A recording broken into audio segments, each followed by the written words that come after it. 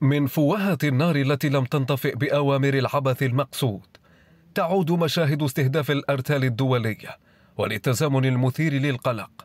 الاستهداف للمرة الثالثة خلال يوم واحد تزامن مع استعداد العاصمة لاستضافة قمة القادة خلال أيام قليلة في المثنى وبابل حيث الجنوب العراقي ثم الثالثة جنوب بغداد.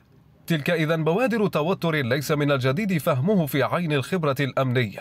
إنما محاولة ولو لم تأتي بخسائر بشرية إلا أنها تأتي لإحراج بغداد رسميا بين أوساط الاطمئنان بعقد قمة ولو أنها ستكون تحت حماية قصوى.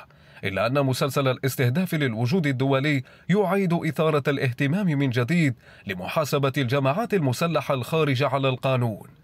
وهنا ليس للصدفة مكان في تفاصيل ما يرشح عن شكل ومضمون قمة بغداد حيث الطاولة المفتوحة أمام أوراق تخفيف التوتر بين خصمين مهمين في المنطقة وهما السعودية وإيران.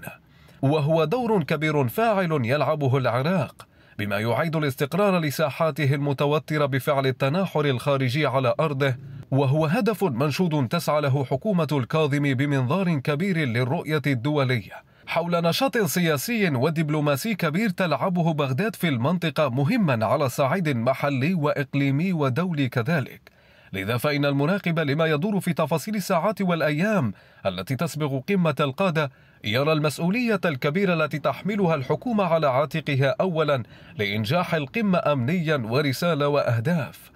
وثانيا العمل على تحقيق النتائج المرجوة منها ومنها بالتأكيد السعي لإنهاء مسلسل استهداف أرتال التحالف الدولي الذي يدعم العراق في محاربة الإرهاب وينهي عزلته الدولية التي صنعتها الفوضى على مر سنوات سابقة.